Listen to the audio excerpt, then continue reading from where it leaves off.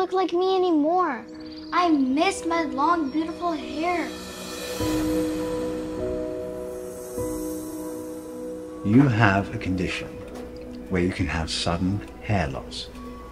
You may develop bald spots in certain areas. Or you may just have a receding hairline. You think you can be a cheerleader? Not that ugly hat.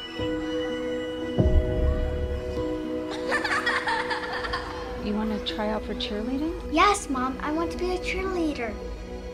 What are we going to do about your hair? Well, then, you better start practicing.